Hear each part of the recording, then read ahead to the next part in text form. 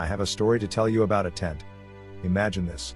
A tent that could keep you safe and protect you from the elements, a tent that is spacious enough to room you and your gear and at the same time be comfortable.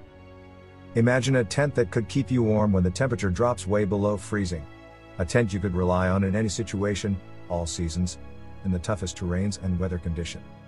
Imagine a tent that is lightweight despite its size and that made it possible to go anywhere.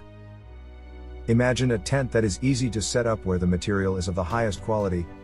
This is no imagination. This is Nortent.